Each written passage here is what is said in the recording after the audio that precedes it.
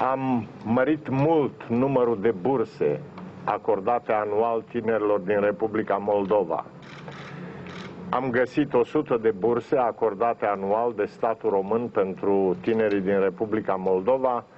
După 3 ani aveam 5500 de burse anual. Deci noi avem anual la studii, într-un ciclu de 4 ani, 20.000 de tineri din Republica Moldova care învață în instituțiile de învățământ românești, fie că vorbim de colegii, fie că vorbim de universități.